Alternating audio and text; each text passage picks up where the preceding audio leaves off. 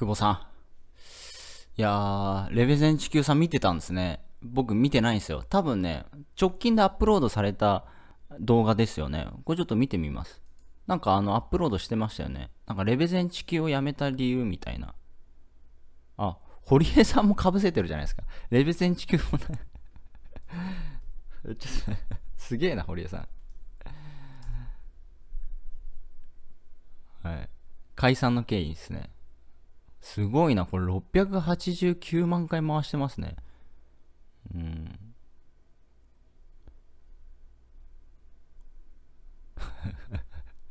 本人、知人 H です。レベゼン地球。いや、これレベゼン地球さん結構ワード、あれですね。爆練してますね。また。すげえな。堀江さんも被せてるな。堀江さんも45万回回してますね。なるほどね。でも、レベゼン地球さん、これほんとか顔変わりましたね、整形してね。ちょ、レベゼン地球さんの顔整形にしましょうか。これ全然ちゃうな、顔が。変わりましたね。これね、前ね、なんか意見があって、前の方が、ニンニク、バナナの方が、なんかその、共感得るというか、なんか可愛いというか、でもこっちの方がかっこいいっていう意見もあって、なんかいろいろあったんですけど、まあでもかっこよくなりましたね。で、僕、レベゼン地球さんのすごいところは、なんかね、あの、捨てられる勇気なんですよね。嫌われる勇気というか、捨てれる勇気っていうのが、あの、すごいなと思います。うん、なんか、あの、なんだろうな。あまあ、整形とかもそうだと思うんですけど、今までの顔を、まあ、うん、まあ、整形っていう言葉なんですけど、まあ、捨てるっていうにも当てはめられると思うんですけど、うん普通だったら、まあ、なかなかできないと思うんですよね。まあ、特に日本人であるならば、まあ、その整形に対してね、韓国とかだったらね、別にまた違う価値観違うんであれですけども、その、なんだろうな、うそこにすぐ切り替えれるっていうのが、すごいですよね。うん。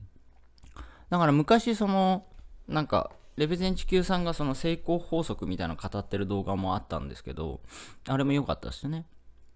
うん。まあ、とりあえずもう、とりあえず借金まみれで、借金でも、あのーまた借金みたいなね。とにかく借金みたいな。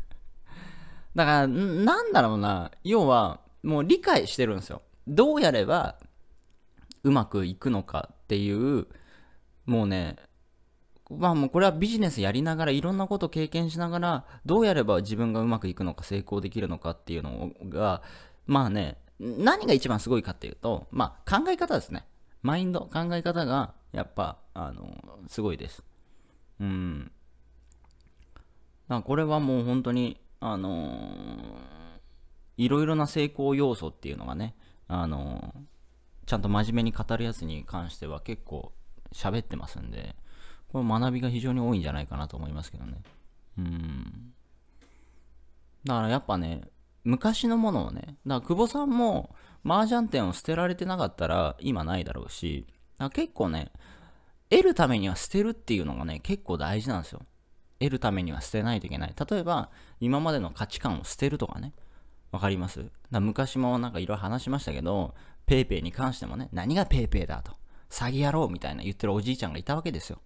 あるあそのファミマでね、バイトしてる、ね、人に対してね、なんか今ね、 PayPay に登録すると500円あげますみたいなね、バイトの人がやってたわけですよ。ね、路地あのファミマの前で、なんかこんな看板背負って。そしたらね、変なおっちゃんがね、なんかめちゃめちゃヤジ飛ばしてたわけですよ。何が PayPay だと。うさんくせえなバカ野郎みたいなね。だからそれ捨てられなかったら時代に置いてかれちゃいますからね。うん。だから今の価値観、今の価値観で、まあ、これはね、あの、なんだ、あれも言ってるわけじゃないですか。あの、えー、っと、アインシュタインか。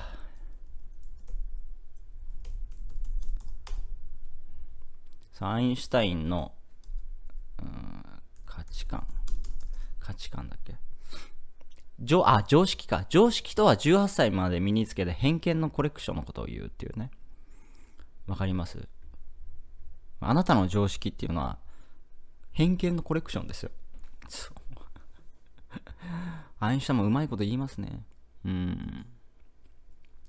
だやっぱ捨てる勇気、嫌われる勇気っていうのはね、すごく早い、な200万部ぐらい売れましたけど、捨てる勇気っていうのがいいんじゃないですかね。うん。捨てられないと得られないですよ。僕も今こういう自由な生活してますけど、本当前の会社にまだいたら、こんな生活を送ってないですから。いや、マジで。本当に。これはもう100%断言していいあの言えますね。こんな自由なね。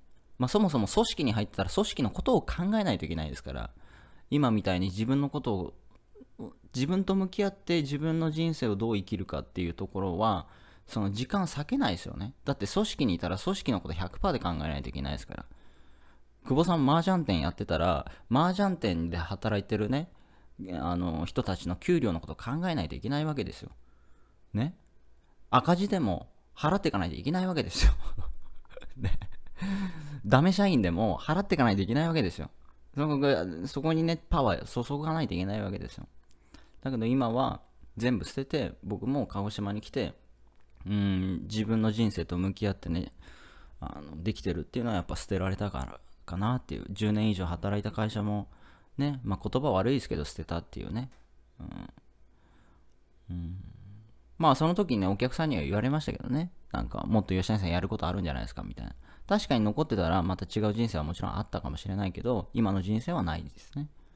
まあどっちが良かったのかは他人が言うことじゃなくて自分が決めることなんで、僕はこれが正解だったなと思いましたね。ほんと鹿児島に来て、まあほんと鹿児島に来てなかったらこの億万長者合宿のやりとりもまずなかったでしょうね。久保さんないっすよ。もう間違いなく。これもうこれも言い切りますけど。だって、ね、会社でやってたらね、もう商品販売し終わって2年経ってるのにやり取りしてるんですよ。何やってんだって言われますよ、上から。絶対に。ね、もう販売終わってんのに何そこに時間かけてんだみたいなね。